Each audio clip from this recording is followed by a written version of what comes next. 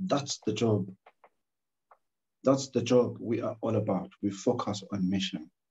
And do we know we are men and women of mission? That's what God put us here for. And I want to give over to the pastor and um, may we silently pray for him so that all that he comes with can sink and be internalized by us.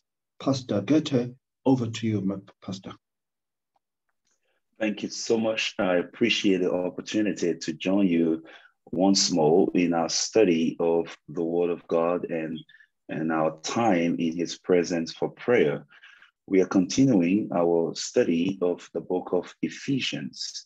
And as you know, the uh, theme of this week's presentation is Grace Galore. Grace Galore.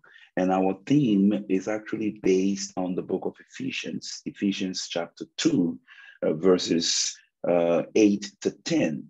And from this passage, I mentioned on yesterday that we learned the following six amazing truths about the grace of God by which we are saved.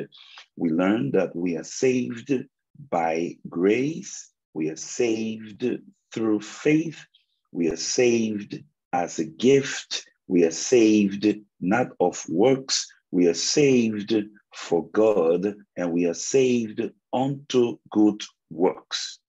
So, yesterday we set the foundation, or at least lay the groundwork for our week's study.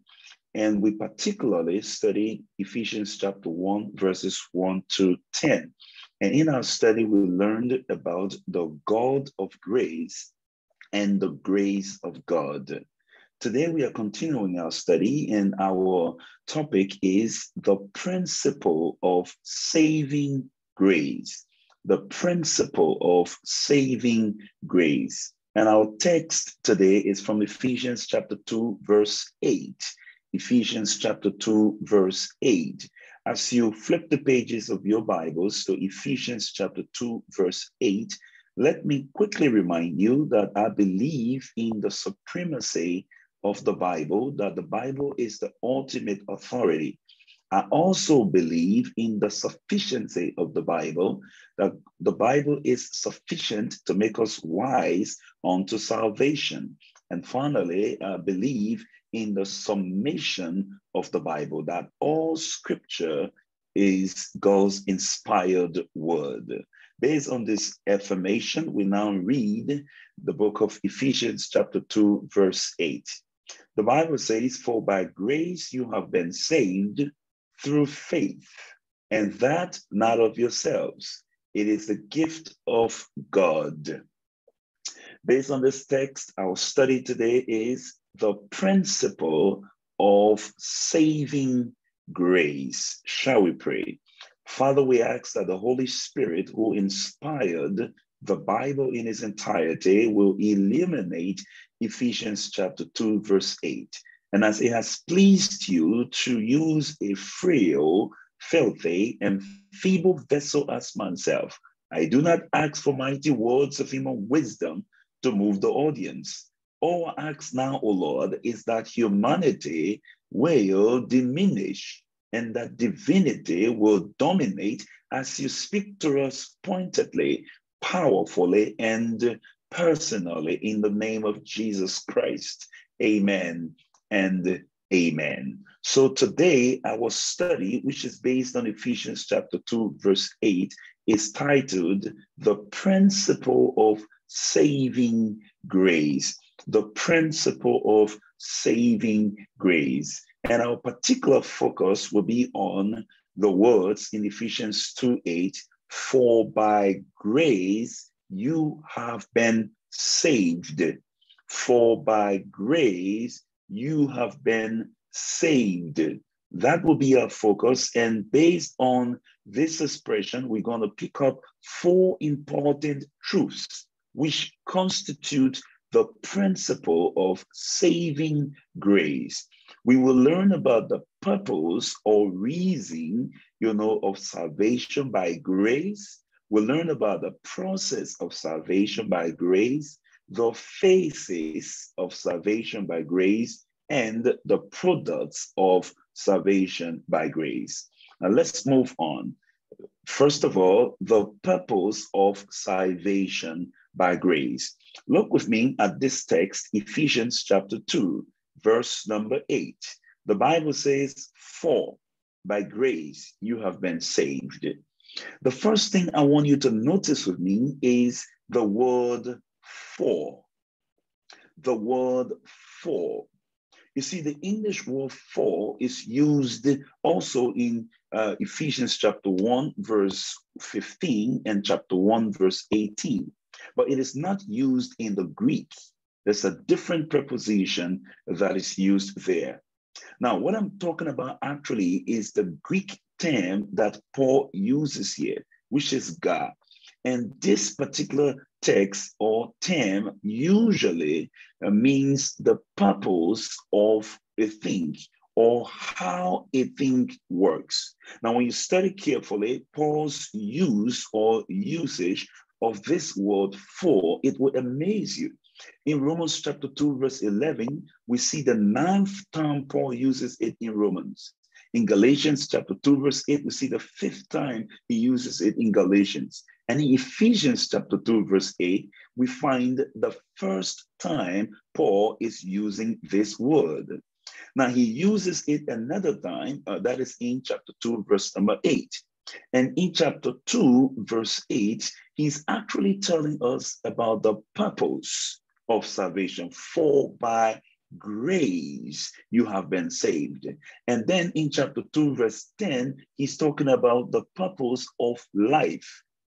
For we are his workmanship created in Christ Jesus for good works. So, two reasons why Paul uses the preposition for uh, here are very simple. Number one, he is so preoccupied with, uh, you know, stressing the point that he's making here. Number two, he is calling us to understand to understand God's overall purpose in saving people like us. God's overall purpose in saving people like us. So the reason, okay, we are saved by grace is to display God's grace and mercy in the ages to come to display God's grace and mercy in the ages to come. Friends, as a matter of fact, the word for explains the surpassing riches of God's grace, which is spoken of in chapter 2, verse number 7, and it elaborates the parenthetical statement in chapter 2, verse 5 For by grace you have been saved.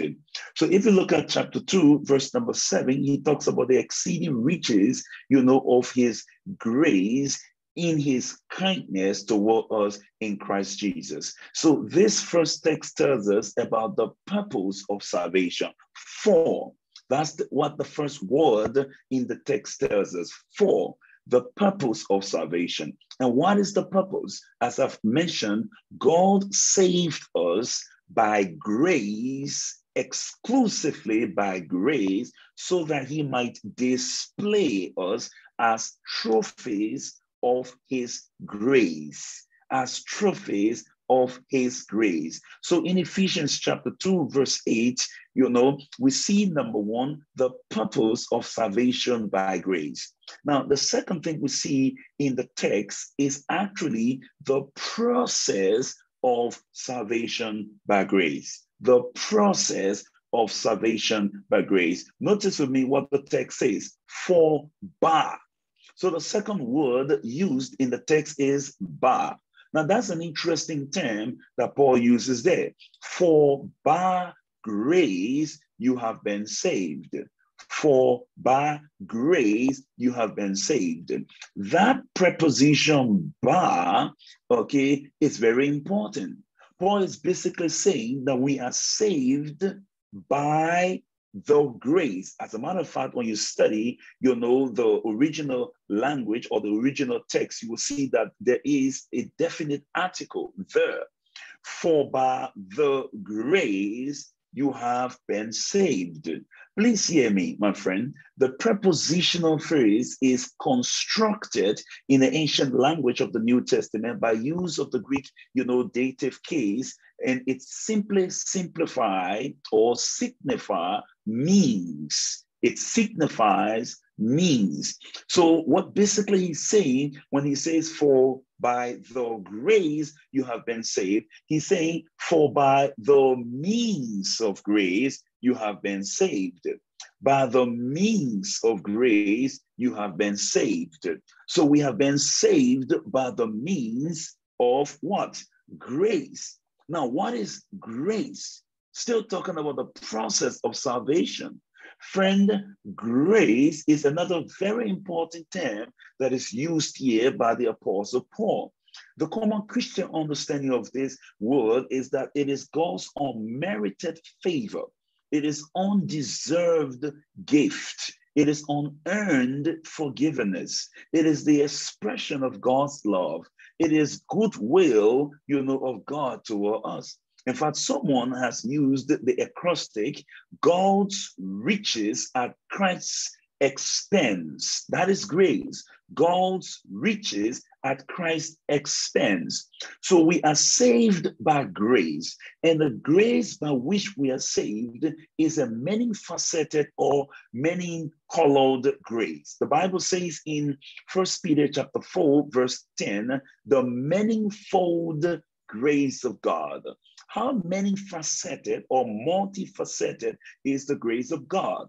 Friends, the grace of God is saving grace. In other words, this grace that Paul talks about, which is saving grace, saves, as the name suggests. In Acts chapter 5, verse 11, the Bible says, We are saved through the grace of our Lord Jesus Christ.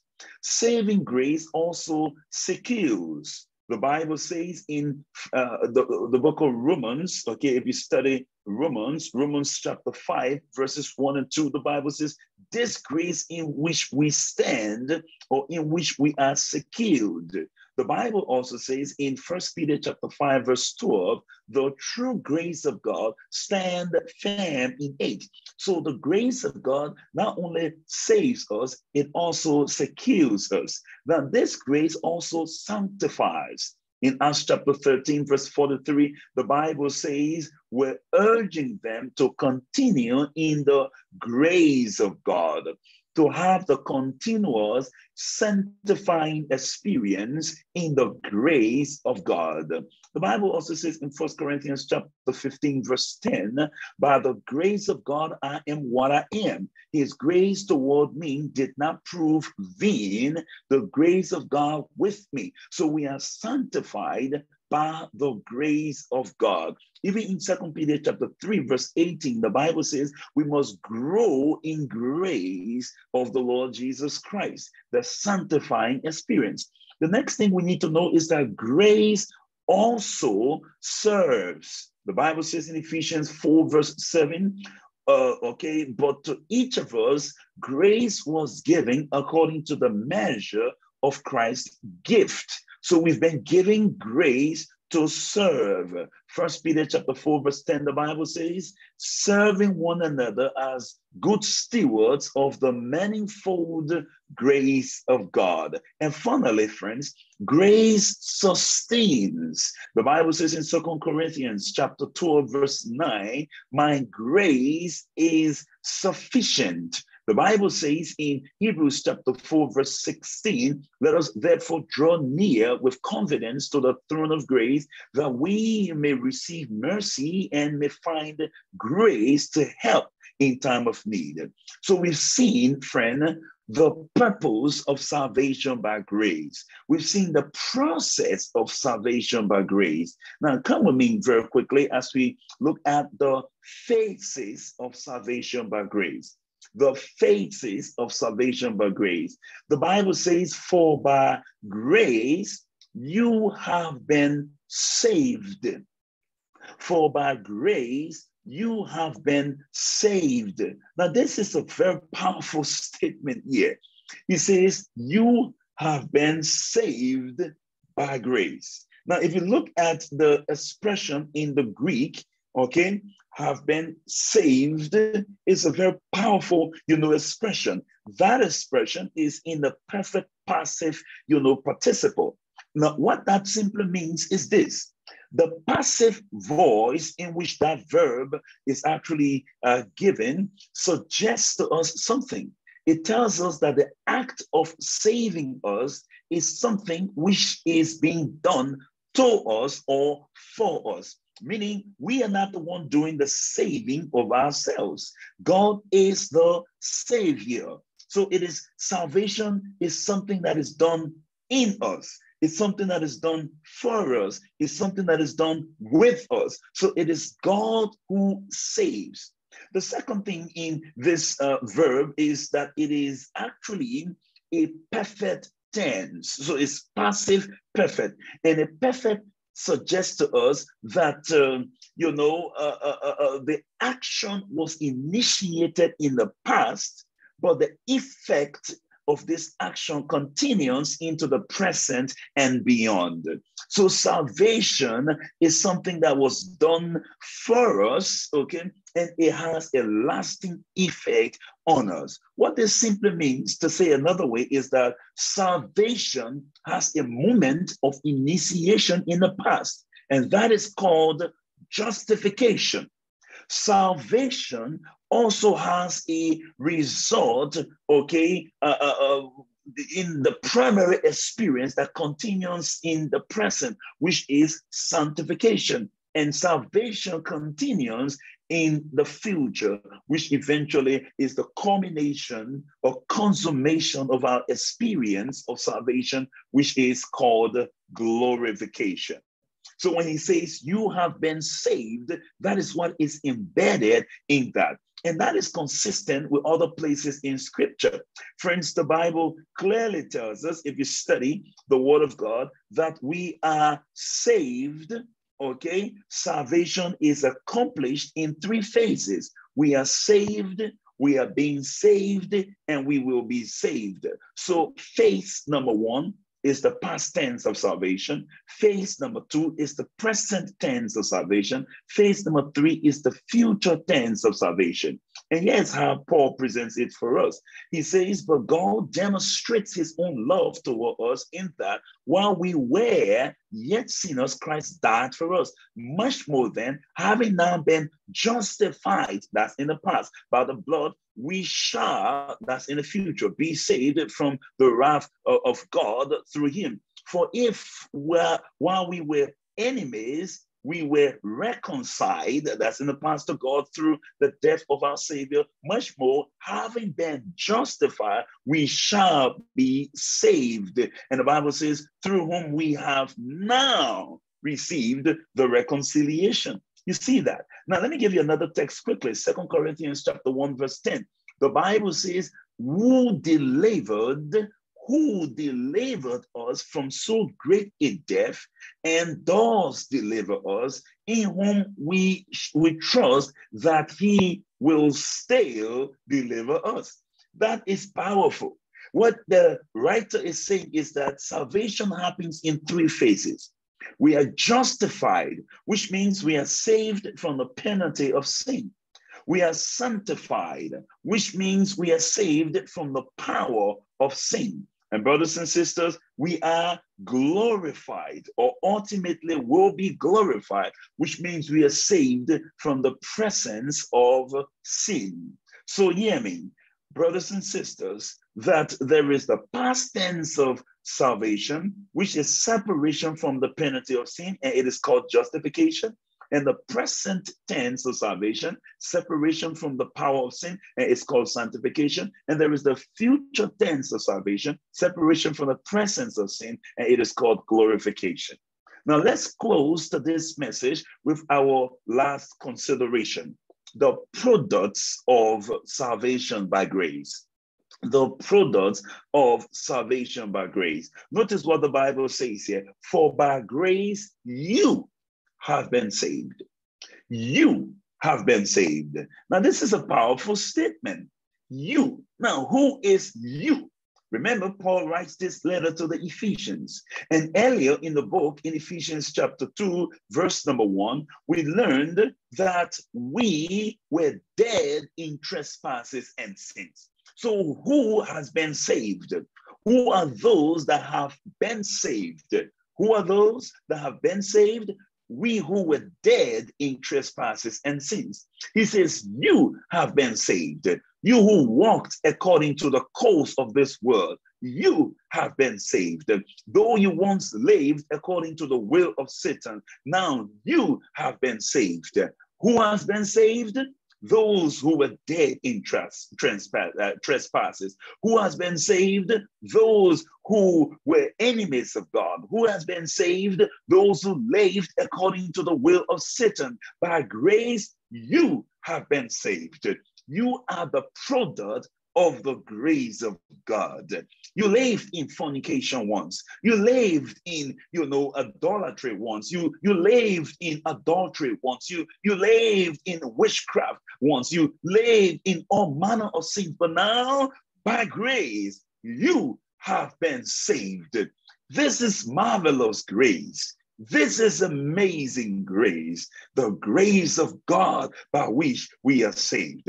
One person has put it this way that grace, G stands for gift, the principle of grace. R stands for redemption, the purpose of grace. And A stands for access, the privilege of grace. And C stands for character, the product of grace. And E stands for eternal life, the prospect of grace. I'm focusing on C, character, the product of grace. We are the products of the grace of God. I read two comments from Ellen White and we close today, brothers and sisters.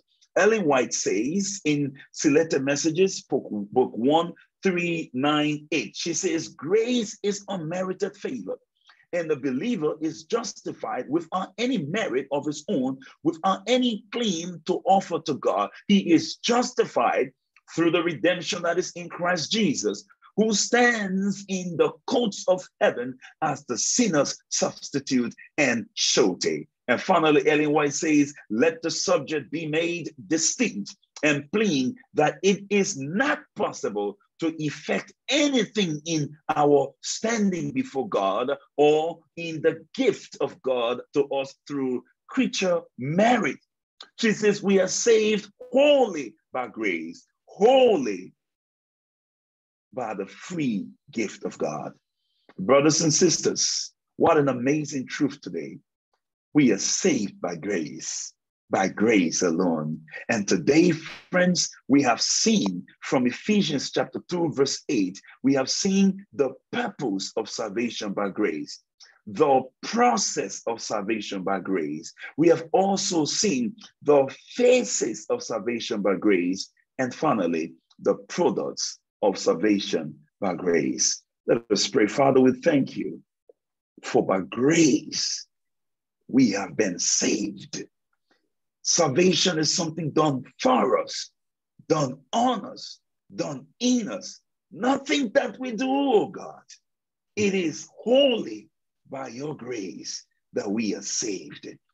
Thank you, Father, for the amazing, immeasurably great grace of God by which we are saved.